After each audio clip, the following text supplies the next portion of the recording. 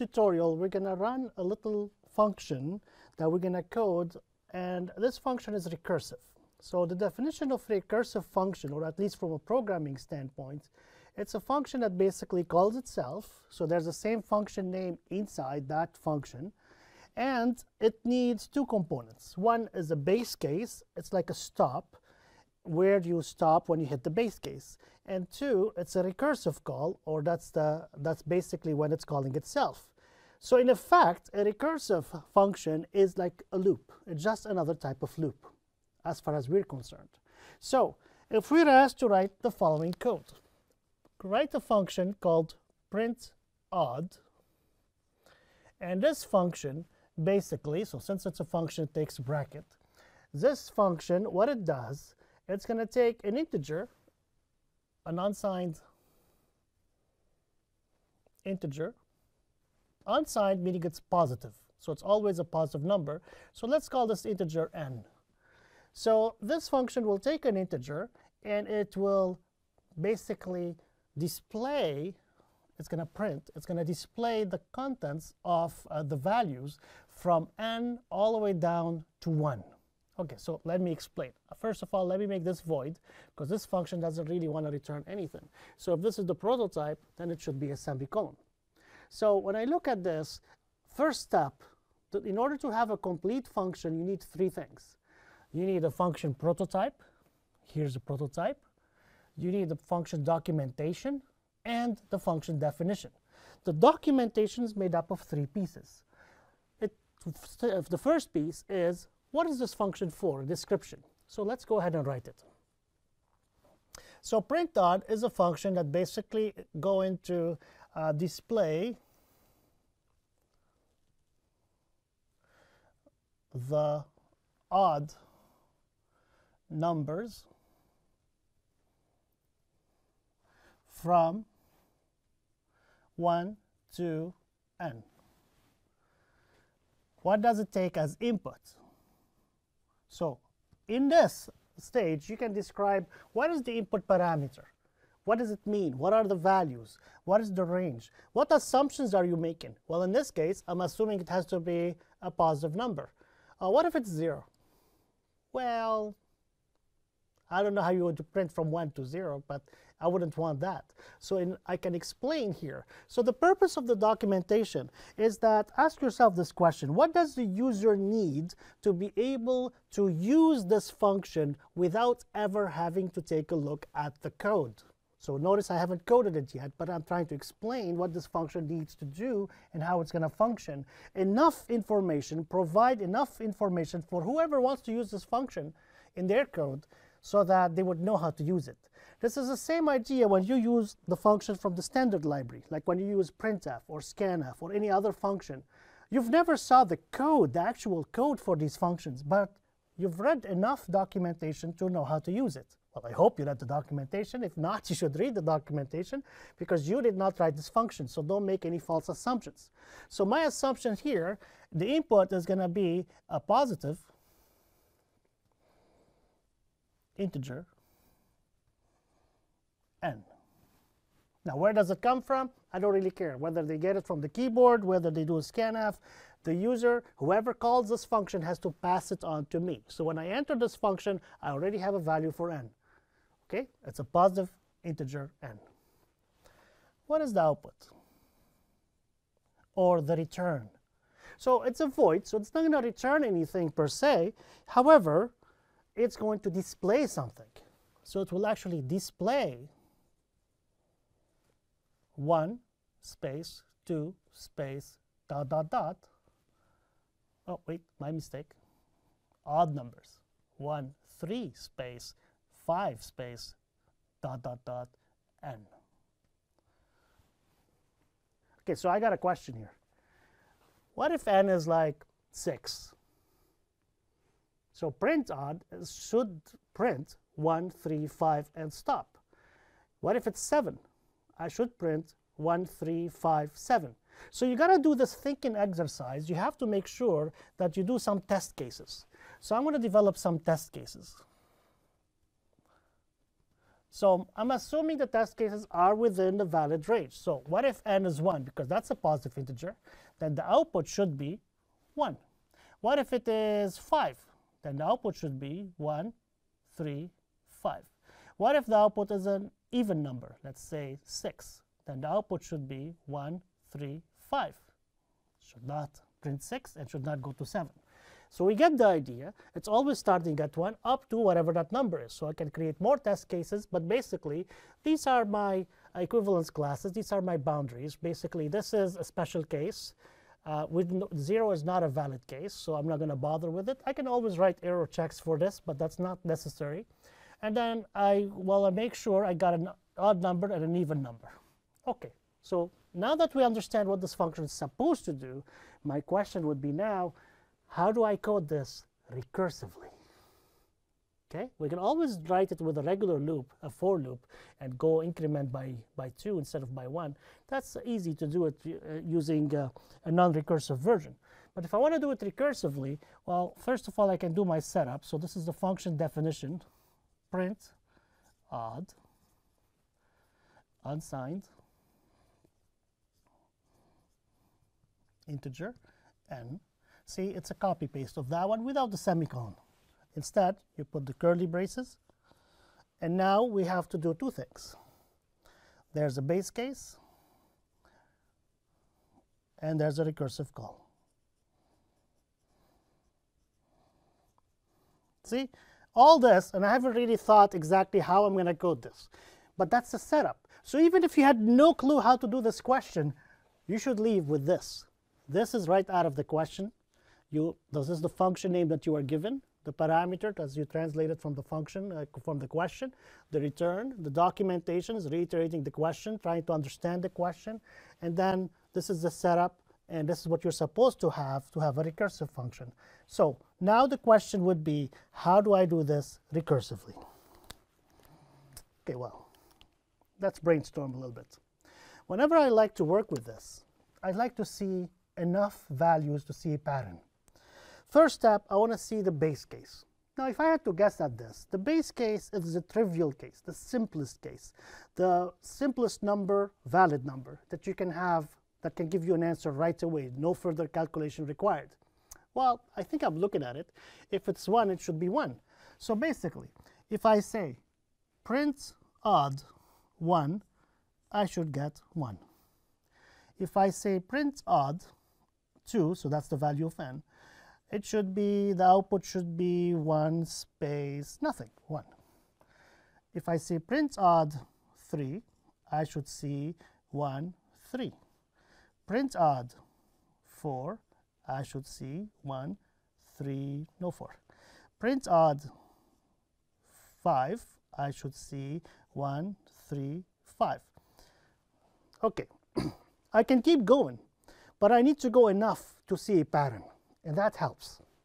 Okay, so looking at this, what is the pattern? So disregarding the even numbers, let's look at the odd numbers. So let's look at this case, this case, and this case. Let me try to switch colors and look at this. Do you see this is the same as this? Yep. All right. So print odd 5 is really the same as print odd 3 followed by a 5. So I can replace this with print odd 3. So let me rewrite this up on the side. Let me make some room.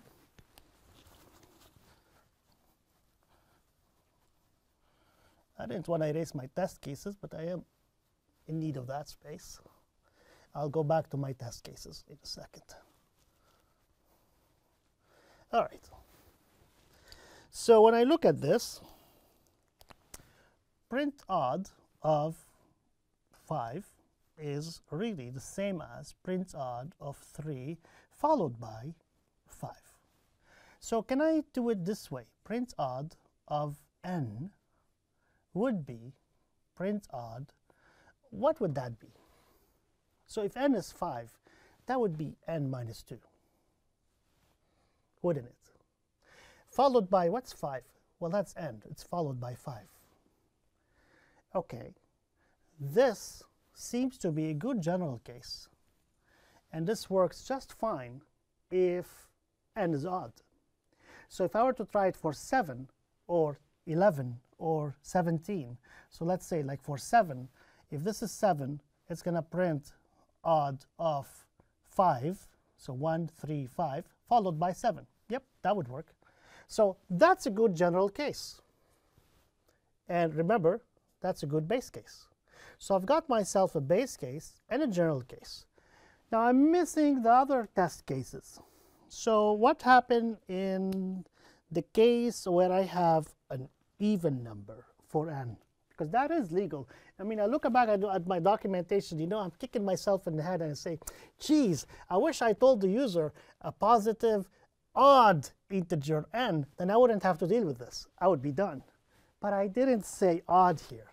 So n could be 4, could be 8, could be any odd or even number. Okay, so I have to deal with that situation. So let's take a look now at these situations here. so if n is even, I know, like when it's 4, I'm never going to reach 4. It's always one less. Well, you know what? What if I can just say if n mod 2 equal equals 0, in other words, if it's even, then simply go this, make n is equal to n minus 1, and just then use that, and I'm done. Because you see, if it's 4, just make it 3 and solve it. Yeah, I can do it for 3, I can't do it for 4, but if you make 4 3, then you're good. So if you make the 2 a 1, you're good. Hey, that sounds like a good logic. Let's take it. Let's take that plan. So if I have to prepare the input before I do the processing, so be it. That's what I'm supposed to do. So what I'm going to do here for my base case is I'm going to prepare my inputs. Okay, well, keep it simple for the base case. So basically, if n is equal to 1, I'm done. Print 1.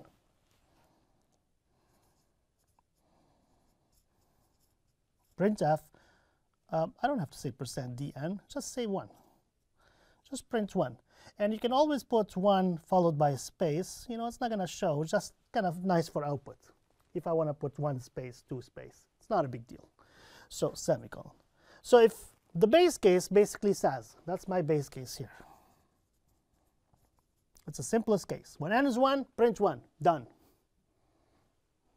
If n is 1, print 1. Okay. Else. Okay, else what? Let me put that curly brace just to be sure because I may have more than one thing to do. And it's a good practice to always put your curly braces. Even though you have one statement, it's a good practice to do this. And always line up your braces and watch out your spacing so that you can always see the code clearly. Okay, so let's take a look at the else. So in other words, I don't have the base case. Okay, so I have some value n, and n could be odd or even. So can I take care of the even case?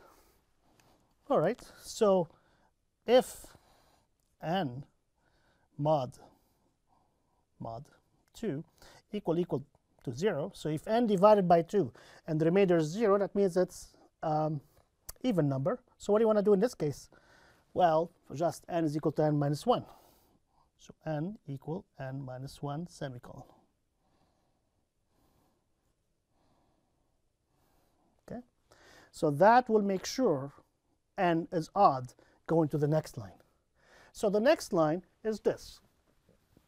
It's my general case. So I took care of the, uh, the uh, even numbers, done. So at this point, I only have odd numbers. So if I have any number, odd number n, all I have to do is call the print odd for that n minus 2 and then print n. Okay, I can do this. So I can basically call print, what is it called? Print odd and n minus 2. Okay, so like 3 minus 2 is 1. 5 minus 2 is 3. So print that, and that is going to go and print 1, 2, 3, whatever, or sorry, 1, 3, 5. And then when I'm done, I need to print that last part. I need to print n. So n, let's see. Oh, I need like a little bit of space here. Can squeeze it in. Can move this down a bit. You get the idea. So I want to do a printf percent double quotes percent d comma n. Okay, that's it. Let's test this. So input called print odd of 1. So when n is 1, is n is equal to 1? Yes, print 1. Done. Okay, that's checked. So when it's 2, call it again, print 2. So if n is equal to 1, no, it's not. Is it uh, n mod 2 is equal to 0? Yes, then n is equal to n minus 1, so it's going to be 1. Call the print odd of n minus 2. So what's it going to do here? It's going to call 2 minus 2. Uh-oh. See, well, this is going to be 1. But 1 minus 2, that's going to be a problem. Oopsie. You see the problem? All right, so it's very important to test this code because now you'd see that there's a serious issue here when I'm testing it for 2. So let's recap. n is 2. Is n equal to 1? No. You go to the else. Is n mod 2 is equal to 0? Yes, it is. It's an odd, it's an even number. Okay, so 2 is equal to 2 minus 1. So n minus 1, 2 minus 1 is going to be 1. Then it's going to print, uh, we have to be careful here. We're going to print 1, n is 1, minus 2. Well, that's an invalid input now because 1 minus 2 is, look at my documentation. It has to be a positive integer. That's going to violate a lot of rules. That's not going to work. That's going to cause me some problems. So maybe I should have taken this check and really put it at the very beginning maybe I should have listened to my own documentation when I said it's a positive integer n, and really I knew that I always work for odd numbers because these are odd values, and maybe I should have really took care of that problem at the very beginning. So let's put this line up here. So if n mod 2 equal equal to 0, then I'm going to say n is equal to n minus 1. Let's do this here. So basically this line is gone. And it's up here now. Okay, let's now do the trace. When it's 1, okay, that's going to fail. Is n equal to 1? Print 1. When it's 2, then it's going to become 1. Is it equal to 1? Yes, print the 1. Good. When it's 3, yeah, it's just gonna go do its thing. 3 minus 2, it's gonna 1, it's gonna print the base case followed by the 3. Good. When it's 4, it's gonna run here, n is 4, n mod 2, it is 0, yes. So that's gonna become 3. Is it equal to 1? No. It's gonna print the 3 minus the 2, the 1, it's gonna hit the base case, and then it's gonna print these. Okay, so what I wanna do, that's gonna work. It worked for the base case, an uh, even number and an odd number. I would like to do now is an actual trace.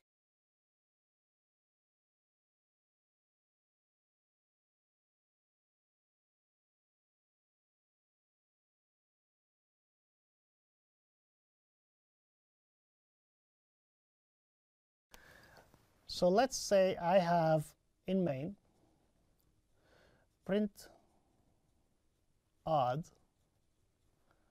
And let's say I have the number 4. So let's trace this code. Okay.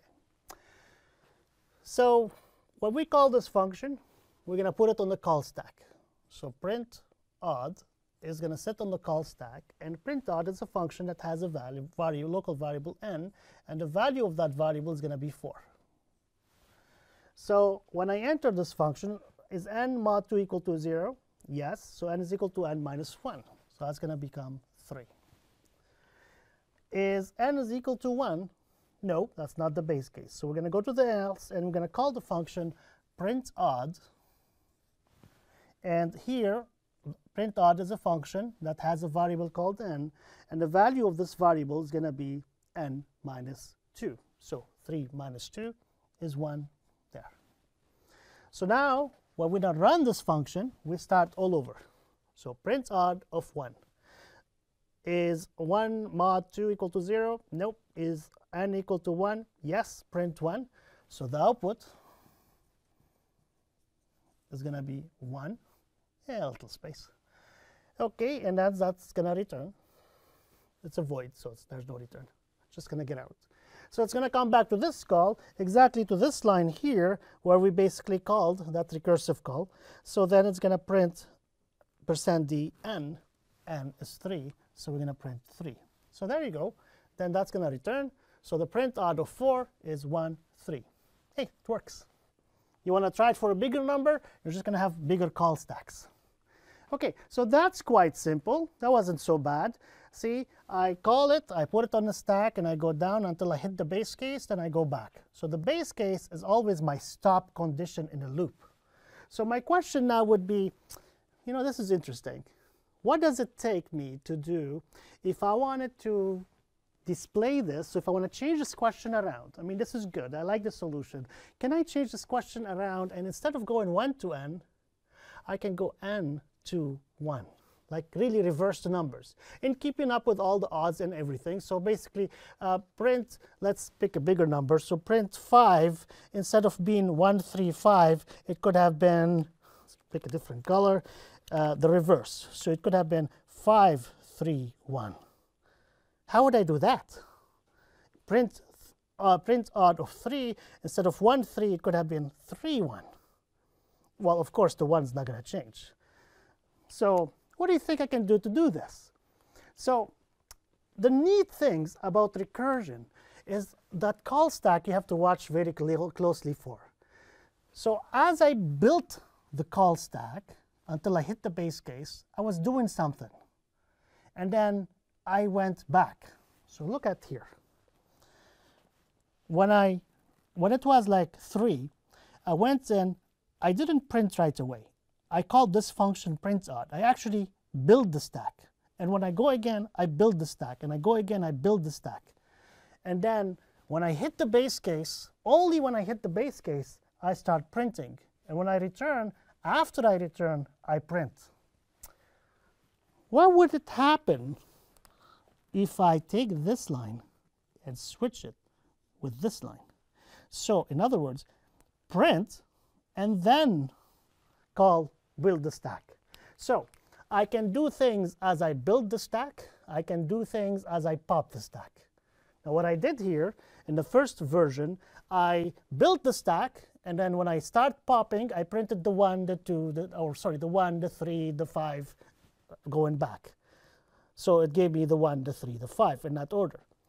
Now, if I do this piece here, print and then build the stack, so I'm doing I'm the printing as I build the stack. So basically I'm saying um, I want to print the three, put the next one on the stack, print the one, then go back. So that would give me the three to one in that order. Same thing had I done it for five. So this is an interesting thing to do. It's very nice to reverse things simply by switching the order of these. You can do things as you build the call stack, and you can do things as you pop the call stack. You get the completely reverse of what you are looking for, which is fun to do. So that concludes the code for this recursive function. Remember the three components of a function is the prototype derived from the question. Make sure you pay attention to the input parameters and to the return type. Look at the description, inputs, output, put all your assumptions in there, think it through, this is very important documentation. You know you have enough documentation when you see people don't look at my code. They just look at this documentation and given the prototype, they should be able to use it. So that's how much documentation you need to put in there. So when you're writing a recursive function, you always know there's a base case and a recursive call. You may have to do some preparation before you enter this. You may have more than one base case. You may have more than one recursive call, depends on the question. In this case, in order for me to work this out, I basically worked out enough examples to see a pattern. And when I saw a pattern, I was able to replace it and rewrite it in terms of itself. And when I do that, I can derive the general case in terms of n. And when I have the base case and the general case, I got myself the code, the base case and the general case, which are derived precisely from my workout. So I hope this helped you in thinking through designing recursive functions and interestingly looking at the call stacks, what you can do as you build the stack and what you can do as you pop the stack. This uh, should be helpful to you and try out different ones. How about print even number? You know, there you go. There's another question you can try for yourself. You can always code this. Notice I didn't pay too much attention to main because I designed a function so I can use it in any piece of code. All right, so I hope you find this helpful. Thank you for watching this tutorial.